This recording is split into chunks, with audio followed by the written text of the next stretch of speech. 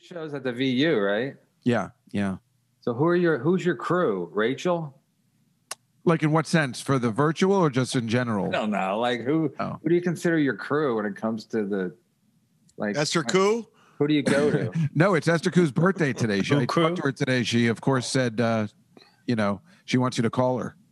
oh, Esther Ku. uh, she wants me to call her. Yeah, you know, she's in love with you. Oh my god. We should call her on the show. Oh, she'd be so happy. It is her birthday today. No, but then then my wife would get mad. Oh, she right. listen Okay. to I would assume she would. Just Cows. She loves Just Cows, so if she hears Just Cows doing the show, you might have to listen. Anyway, Love her too. Esther Ku's a fraud. She's I don't even know if she's Asian at this point. But she still looks good. No, she's so full of shit. She's like, I'm so I'm a dirty slut. It's all I'm from Pakistan. it's all Sarah's fault. Like I'm a dirty whore. I'll fucking suck anybody. Can I get a spot? And then she's had the same boyfriend for like tw- uh, 14 years or something. Yep. Yeah. Yeah. It's a scam. Well, you're right. Yeah. The, Sarah probably started that where all these girls were like, this is the way I'm going to be. That's definitely true. She did. I mean, fucking Amy Schumer's like, I like cock and food. I, Yeah. I'll put e- everything in my mouth. She was like the People like- Mandalorian. This is the way. Here's a bunch of specials. Here's a bunch of. Spe- I mean, like I, Amy. I always thought Amy was a good comic, but it's like still Sarah was like. I, Sarah was like, just pretend you're a whore, and you know. I mean, is Sarah a whore? She just had sex with a lot of guys. I don't think she was like consider herself like Well, like- slutty. No, and that's the thing. It's you know, it's a complete she- double she- standard. She did what everybody else was doing, but she yeah, was a every girl. dude. It's bad She rap. did- yeah, if Jay Mohr did that, people wouldn't say he was gay.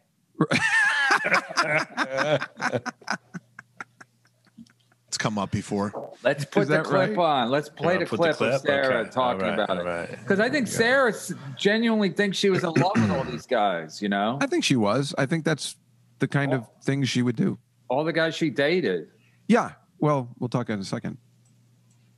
Let's go to the clip. Lost my virginity at 19 to another comedian. I was already a comedian. Oh. I was so in love with him, but he didn't. I mean, he was 30. you know what I mean? So it's Wow. like that's the why first dude you had sex with was 30. Yeah. This it is like good. retarded Chrissie Mayr. How do you know it was your first I, time? I who is thought it was great. I couldn't believe it. I was like, "This is Play it, sex." go I was like, back, oh my god! And then he pulled When I back the talk, sheets, and there was blood. Adam Oh never worked. At, Adam never worked for Red Bar. When I Spoiler talk, alert. you got. No, I, did, I didn't know you were gonna like uh, comment. I'll pause it No, while I you didn't. Go ahead. I, I wasn't gonna, but this. this- Okay, this, go ahead. This interviewer is so stupid. She's horrible. Where did she get an interview with Sarah? I don't she- know, but she's at Sarah's house. She has like a bad accent. She's got those big, like milky thighs, which are disgusting. Look, look how big her thighs that you can see. Imagine how the f- hi- higher up you get. She's just Well, maybe dumb. she's, big like- in Australia or something. yeah. yeah, but she's got a lazy accent, and she just asks dumb questions. Yeah, it's a Go horrible ahead. question. She's a horrible interviewer. Go ahead. Adam. I can't- And I was is this like, on Compound sex." Media? I was like, "Oh my god!" And then he pulled back the sheets, and there was blood. Well, you gotta And, go my back heart further. You Stopped, gotta and I go was back like, further, "Oh my god!" And then he pulled back the sheets. I thought Yeah. it was great. I couldn't believe it. I was like, "This is sex." I was like, "Oh my god!" And then Start he at the pulled back the sheets, and there. you want to go to the beginning of the clip? yeah, it's This a is goes the short. fast. JFK Yeah, assassination. so it's only uh, yeah, it's only know, two it's minutes. short. All right, just play the It's whole kind of short. Yeah. I lost my virginity at 19 to another comedian. I was already a comedian.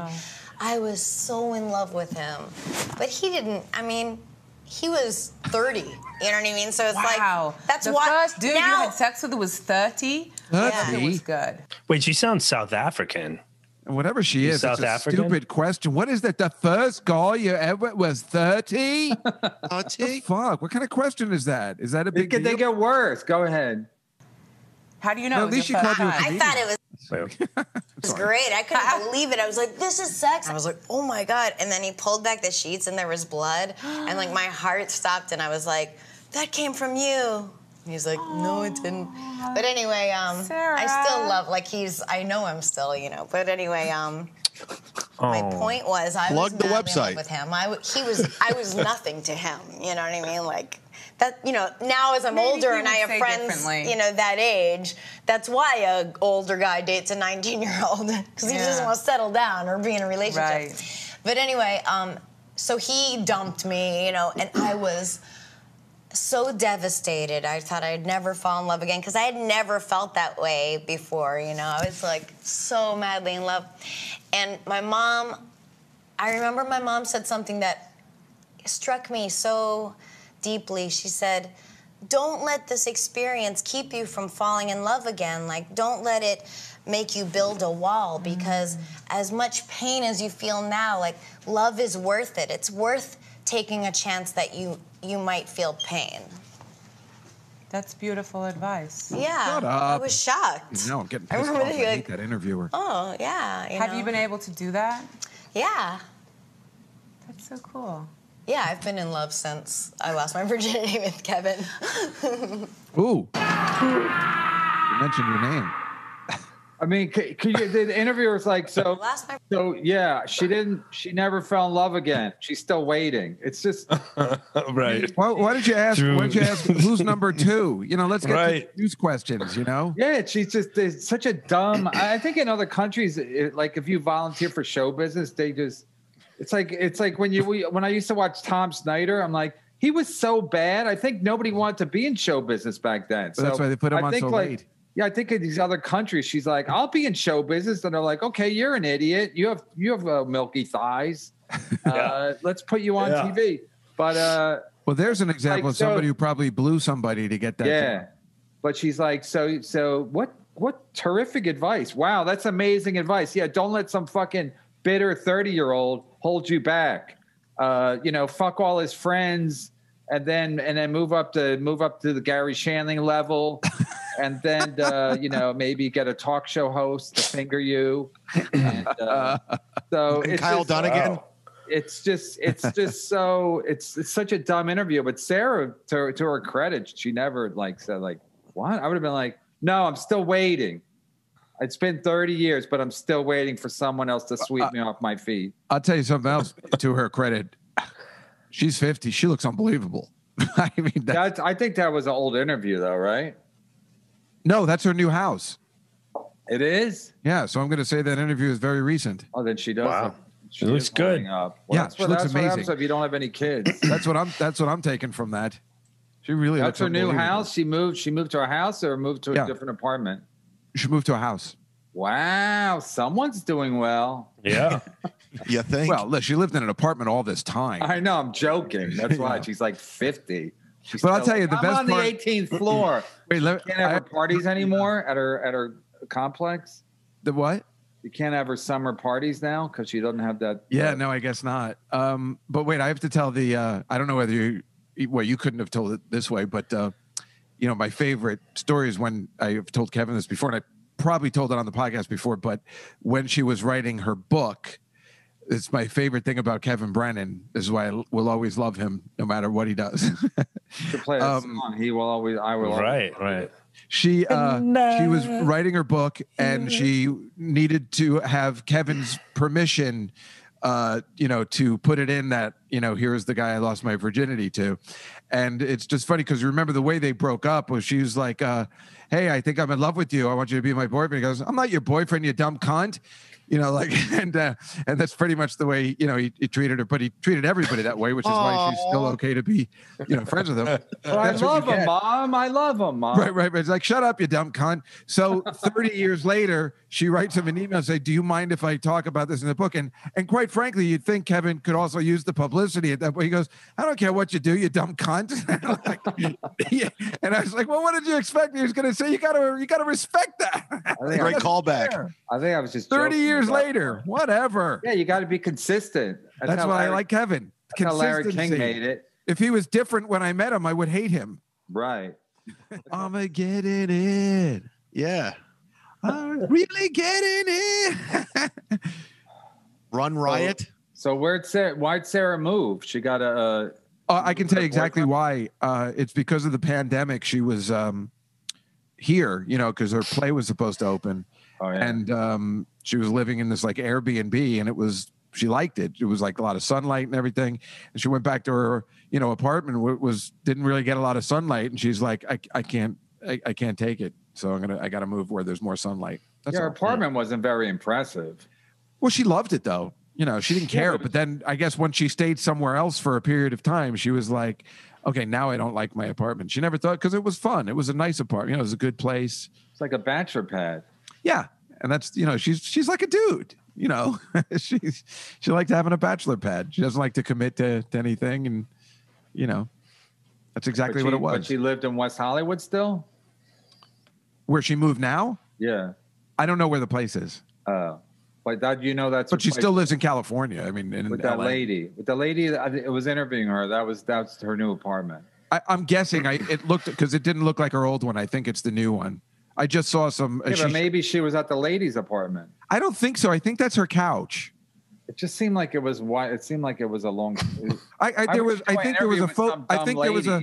I think there was a photograph of her old dog on the uh on the counter. That's why I thought it was her apartment or her house. Oh, Maybe you're Kevin, right. you should call her right now. Sarah wouldn't. The last time Sarah responded to me was, uh, she said, "You guys aren't friends." About me and Jeff Ross. I lost my virginity at 19 to another comedian. I was already a comedian. I was so in love with him. But he didn't, I mean, he was 30. You know what I mean? So it's Wow. like, that's the why. first dude you had sex with was 30. I hope it was good. How do you know it was your first time? I, I thought it was great. I couldn't believe it. I was like, this is sex. I was like, oh my God. And then he pulled back the sheets and there was blood. and like my heart stopped and I was like, that came from you. And he's like, no, it didn't. But anyway, um, I still love, like he's, I know him still, you know. But anyway, um, my point was I was madly in love with him. I, w- he was, I was nothing to him. You know what I mean? Like that, you know, now as I'm Maybe older and I have friends, you know, that age, that's why a older guy dates a 19 year old because he Yeah. doesn't want to settle down or be in a relationship. Right. But anyway, um, so he dumped me, you know, and I was so devastated. I thought I'd never fall in love again because I had never felt that way before, you know. I was like so madly in love.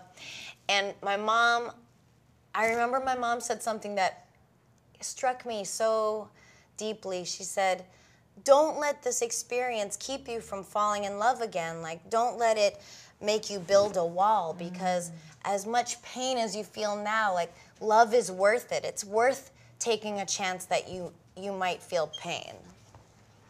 That's beautiful advice. Yeah, I was shocked. I remember thinking like, oh yeah. You Have know? you been able to do that? Yeah, That's so cool. yeah. I've been in love since I lost my virginity with Kevin.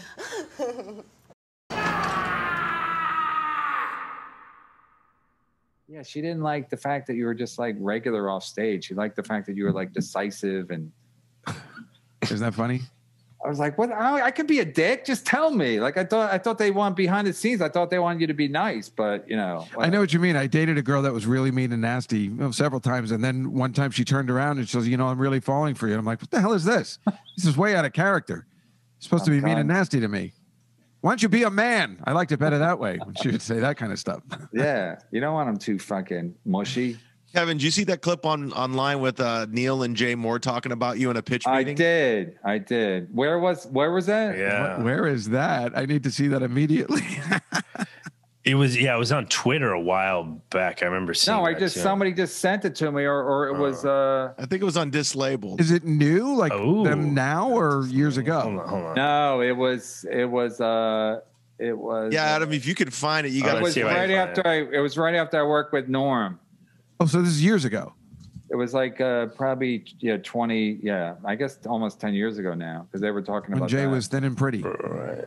and then uh Yeah, he was then- talking about you, you, you guys like selling shows or something together. Yeah, and you, yeah, you were like Neal. you're being miserable like and uh, miserable in a pitch meeting, and Neal had to come with the charisma, and then Right. then Yeah, uh, you know, if you you, you know, if, you know, you're in trouble if Neal, if you're relying on Neal for charisma. no, what he- happened was I had a, and you left, and he said you you walked out of the meeting, and you looked at Neal, you're like, "Nice job, Sparkles."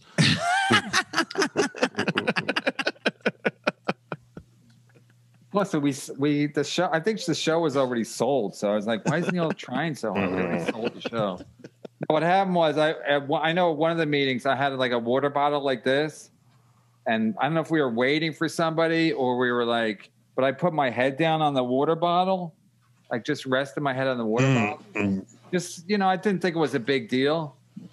I did it all the time at Boston Comedy Club. So anyway, I would just I put my head down, and then uh, after the meeting, Neal's like, "What the fuck was that?" I go, "What the fuck was what?" He goes, "You put your head on a water bottle."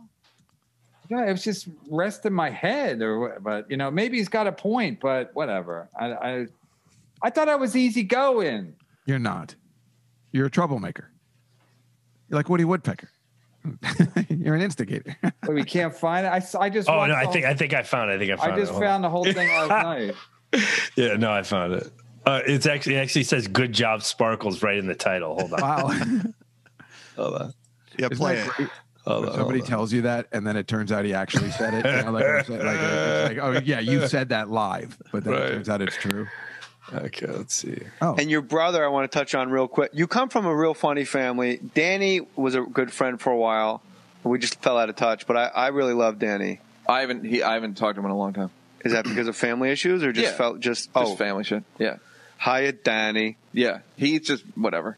And Kevin was doing warm up on Norm's sports show, which inexplicably canceled, so you Yeah. can squeeze in more reruns of everything else on your net. Yeah. I need to see a cartoon. Thanks. Yeah. You know why I don't watch cartoons? Because I'm fucking forty. All right, Yeah. too long. I watch It's too cartoons when long. Yeah, this is like eight minutes, so I don't know. it's too Cut long. to the uh towards the end because that's when it is. Oh, okay, The all right, gist I'll- of it is that all right, go ahead. 99 pitching a show for Kevin.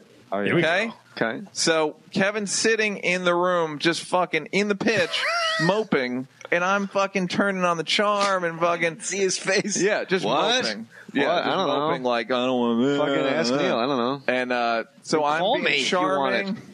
I'm being charming, engaging, selling, and uh, we walk out of the meeting. and Kevin goes, "Good job, Sparkles." It's a pretty good Like, show does Kevin title. right there, realize maybe. in the meeting that he's sabotaging his own meeting? He know because Kevin will hold on to. It's that thing of you can't yell on your way up.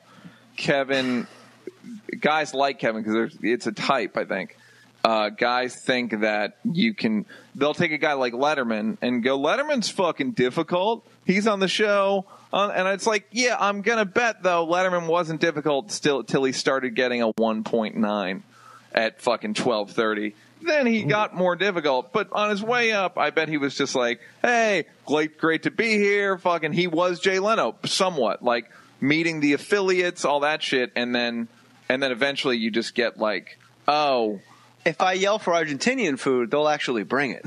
yeah, exactly." If I bang, yes, ex- I like- wanted fucking fish and chips. yes, Sorry, Dave. Yeah, sorry, Dave. And then that that's like, and then comics go, yeah, he's a fucking maverick. He doesn't take shit from anybody. He's fucking Holden Caulfield, and he's fucking out there in the world. And if I don't act like that, I'm a phony.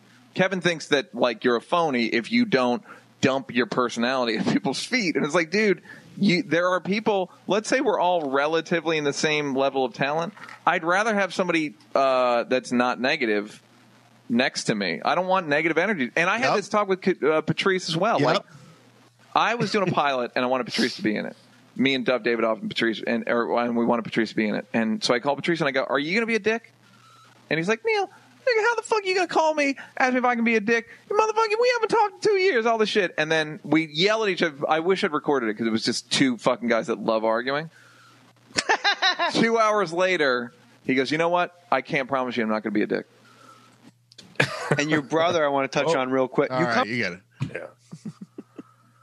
The moral of the story is, uh, yeah. Rebuttal.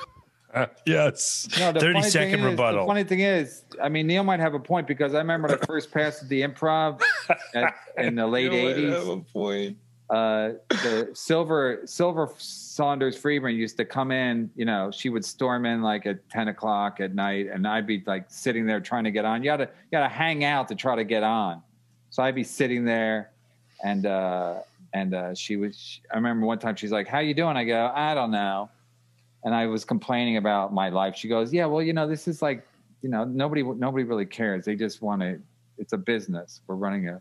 She goes, "Maybe we should leave this stuff when you." and she she had all kinds of problems, but she was like, "Maybe we should leave this stuff outside." I was like, "All right," but I never. But I, you know, I tried to, I, but I guess I didn't do a very good job. But the funny thing about that that show was that. um we we it was a it was a show for the UPN, but um, but we got Ray Romano's uh, Ma, uh, Doris. What's her name? Oh, right, the mother. Yeah, Doris. Bo- Doris. Uh, I don't know her name. anyway, but anyway, got her to play my mom on the show, and I remember, and I was I was staying at a hotel like up the street, but I was like fifth, and I'm never late, but I was annoyed at something, so I was like 20 minutes late to the read through, and fucking Ray Romano's mom was like. You got to be fucking kidding!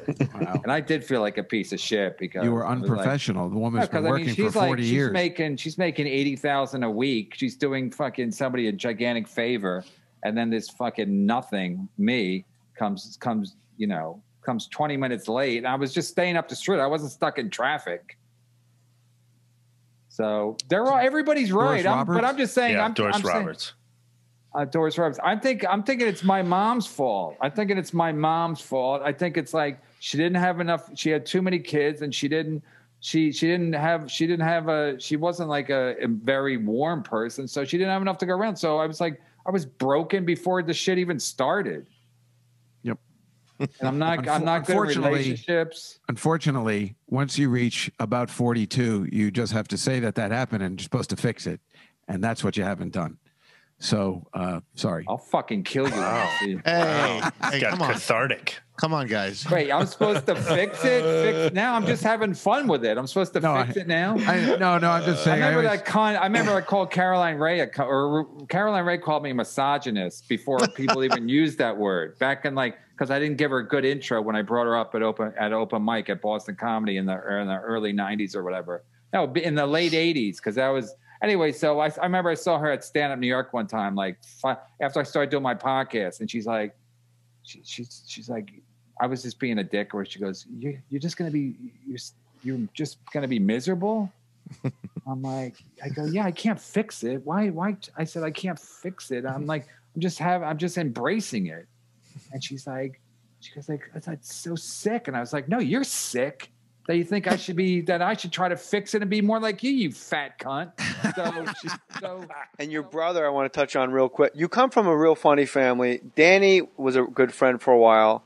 We just fell out of touch, but I, I really love Danny. I haven't he I haven't talked to him in a long time. Is that because of family issues or just Yeah. felt just Just oh family shit. Yeah. hiya Danny? Yeah. He's just whatever. And Kevin was doing warm up on Norm's sports show, which inexplicably canceled, so you Yeah. can squeeze in more reruns of everything else on your net. Yeah. I need to see a cartoon. Thanks. Yeah. You know why I don't watch cartoons? Because I'm fucking forty. Yeah. I watched cartoons when I was a kid. Right, but that's not Comedy Central's audience.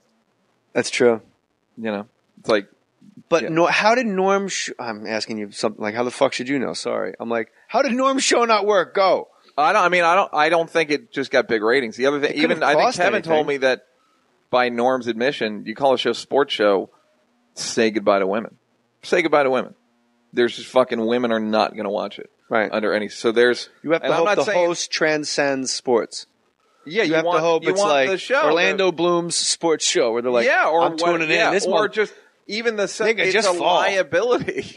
it's a liability, like to just fucking have sports in the title. It's like, eh. Tosh, Tosh 1.0, you just go, yeah, you're. I don't know what the demo is, but it's probably sixty, but forty percent women, if Oh, not yeah. more. huge you know? woman Giant, yeah. demographic. And Kevin did warm up on that show, right? Yeah. Kevin's a really great comic. Yep. I always liked watching him.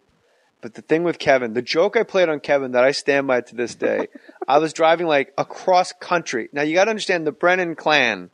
It's like the Wild Whites of West Virginia. If it's a super oppressive, quiet Yeah. Villanova Brooding. adjacent, Yeah. Brooding, you know, Seething. and every once in a while Kerry Kittles pops out of the neighborhood. You've been watching uh, That's one for the Freddie team. Roach show. yeah, that's great. The the him his brother with the stroke is the most Irish shit I've ever seen. Yeah, I, have Papa. ever seen on fucking television. When he's in the hospital, he's like, "Hey, you know, I do the same for you, Freddie." Uh, what? Hey, you know, and it's just like, fuck this. They can't say they like it. It's fucking. It's the most Irish shit I've ever seen Yeah, televised. well, I, one of them actually says "I love you," and I think Freddie back goes, "Get your rest." Yeah, exactly. It's no, like it's just the fucking best. Just some Boston East Coast Irish shit. I'm driving across the country. I stop literally at like um just I don't know, like a Wayne Manor in the middle Right. of like northern northern It was in Solvang, I believe. okay, that makes sense. So Solvang, I pull over at like a place that I know has nice bathrooms. You'd heard that there were people that need to get their balls busted. Yeah, I So heard. you were like, wait, did someone There- need ball busted? somebody- hey, fucking take in my taser. Just fall there. somebody put up the bat, the big erect cock symbol in the sky. Yeah. So I pull over to this like banquet hall to use the bathroom, and I'm and the Olympics are on, Right. and it's like this crazy volleyball tournament where somehow we're going to beat the Brazilians. Nothing I really give a shit about, but I remember people at the bar in this banquet hall really gave a shit about it, Right. And they turned their drunken buzz to fucking USA, let's do it, Right. So I'm staring at the television. It's going to be a huge upset, and I see Kevin Brennan in this banquet hall in Solvang, which is in the middle of fucking nowhere, California. And I'm like, oh my God. Now, of course, I immediately want to like run into his arms like Apollo Creed and Rocky on the beach. But he starts coming to me. So I decide to continue to stare at the TV. He can't believe that I'm there either. He, cause he's coming from New York. He's Yeah. 3,000 miles nowhere. Yeah. I'm 300. He taps me on the shoulder. I look him in the eye and I go, just give me a second. This is almost over. And I look back at the TV and like for years he goes, fucking in the middle of nowhere. You don't even say hi. And I'm like, that was the joke. Like, Right. But when you burn so loudly and you're so grating and you're so relentlessly Right. asshole, you lose that goodwill of that was fucking funny because I came up to you in the middle yeah, of Soul exactly. If you hadn't, like if Jimmy Kimmel did it to you, you would laugh because Jimmy's just a nice guy. I think, did you do it to Kevin or did Kevin do it to you? You were eating a fucking chicken souvlaki gyro outside on the street in New York, like an open pita thing with meat in the middle. And I think it was you were biting it and Kevin just shook it. And all the meat came flying out, like out the other end. It was fucking, it was fucking hilarious. and that's, Street. as a fucking com, that's what I, that's how I think we're all supposed to act. So I go into offices fucking acting like, And you watch old Jerry Shake- Lewis stuff, and they Yeah. like take scissors out and cut people's ties in half, and you go, "Wow, that's over the No, line." that's a fucking. That's over the line. You don't cut a guy's slightly. Yeah, but that's but it's not that far over the line. Or, like, You they're always throwing- the guy's tie. And they're always throwing water in each other's face and Yeah. shit, and putting like Dean Ashing and George Gobel's drink on the Tonight Show. Like, so I thought I was just extending that. Yeah, Like- you thought that that's and I took Hey, just lead. fall there, Pally. Yeah, I took your Oh. You should just fall in the trash there. My bet, Kevin. Uh, Kevin is like a That real, still bothers Kevin. I'm sure Kevin is mad about shit that happened between me and him caddying. He's married in marrying light. 1988. Uh, yeah, the um, the Kevin. The best story is Kevin does like I can be. I can also be very charming and engaging in showbiz meetings. Like that's Yeah. also part of it. And uh, and like I turn, I figured out how to turn grading into just fucking crowd work in a general meeting, and you can fucking get places from. For me, like that, you can get to a lot of places. Uh, you can go places. Uh, so This is the Learning Annex, Showbiz were- 101 with Me and Kevin Neal were Brennan. pitching. This is 1999. Pitching a show for Kevin. Okay. Okay. So Kevin's sitting in the room, just fucking in the pitch, moping, and I'm fucking turning on the charm and fucking See his face. yeah, just What? moping. Yeah, What? just I don't know. moping like I don't want to Fucking ask Neal. I don't know. And uh, so I'm Call being me if you want charming. I'm being charming, engaging, selling, and uh, we walk out of the meeting. and Kevin goes, "Good job, Sparkles."